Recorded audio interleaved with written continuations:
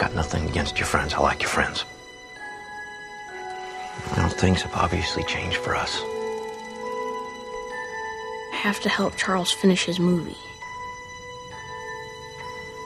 Be good for you to spend some time with kids who don't run around with cameras and monster makeup. It's about a group of kids uh, and a town in 1979, and something uh, extraordinary happens this train crash, and things are never quite the same again after that crash, and it's everyone dealing with the ramifications of that crash. Super 8 is a movie that is not based on the, you know, comic character you loved. It's not a sequel to a series of films. It's it's not based on a you know, uh, some huge novel phenomenon. It's it's it's a movie that you know, I think I'd love to just not say anything about and let people sort of discover.